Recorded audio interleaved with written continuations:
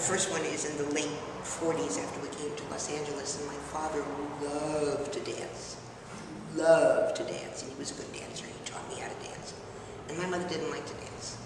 So my father would go to the Cocoanut Grove, and he would tell me all about it. I mean, I was too young to go, and you know, and Freddie Martin with his orchestra there, and it was just elegant and wonderful. So, okay.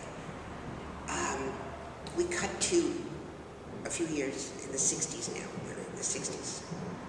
Um, and I'm doing um, a show called The Farmer's Daughter with Inger Stevens, who is a very close friend of mine. And we were asked to um, narrate a fashion show at the Ambassador Hotel. Oh, was that elegant? Oh my God, James Galanos, who used to design for Reagan, Nancy Reagan.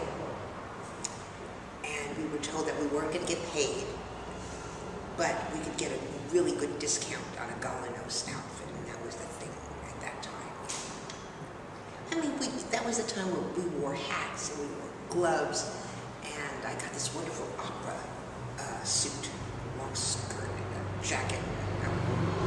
My mother used to tell me, the less you show people, the more they'll be interested. So I always wore things. Um, I'm talking about, you know what I'm talking about.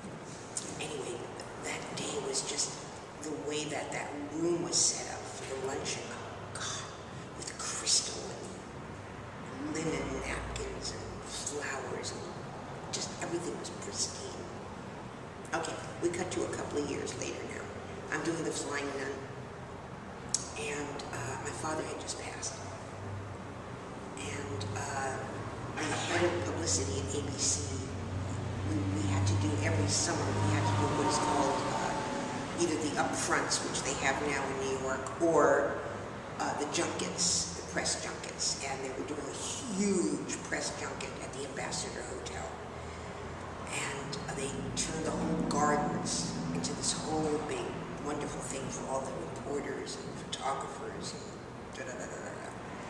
And to cheer my mother up, you know, I was going to be one of the people that had to be there and be interviewed. And Rona Barrett was supposed to interview me. I don't know if you remember her or not. She was a columnist here in Los Angeles for many years. And I thought I'd take my mother to cheer her up, you know, to see how my mother, you never knew what was going to come out of her mouth. You know, she told it like it was. And we were seated, seated in the garden there, and Phil Kriegler, who was head of publicity, then called. He said, Shelley Morrison, come on down here and meet Rona Barrett. So I got up to go, and my mother pulls on me in, in a loud voice. She says, Well, lipstick, you're an actress. and everybody cracked up. So that broke the ice. That was terrific. And, uh, but it was beautiful and lovely. Now we cut to a few years later. Uh, it's the mid 80s, and I'm doing a show called First and Ten, which was a, uh, a series on HBO starring O.J. Simpson. I have to backtrack a little uh, to say that on The Flying Nun, uh, O.J. Simpson, the first thing he ever did uh, acting wise was a guest on The Flying Nun, was kind of sweet and innocent. He was an SE and the football player. Now we're a number of years later. We're at the Ambassador Hotel, and we're shooting the whole week there, inside interiors and exteriors. And things are starting to look frayed, and things are just being neglected, and it smells kind of funny there. And O.J. Simpson comes to work, and he treats everyone like dirt, and he's kind of big. And not a very good memory of that. Okay, now we cut to a few more years later. We're into the 90s now, and a good friend of ours is graduating from chiropractic school. And so the graduation is being held at the Ambassador Hotel, a dinner and the whole thing. And it is just dreary looking and dank and ah, just sad.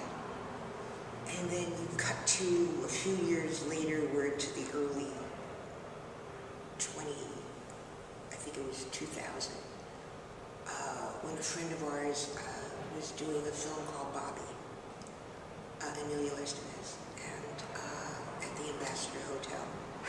And what he had to go through in order to shoot the film there, because as he was shooting it, they were tearing it down.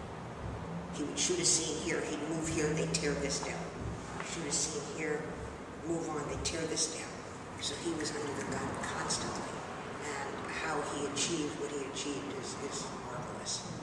So it's kind of seeing it from the glory days into its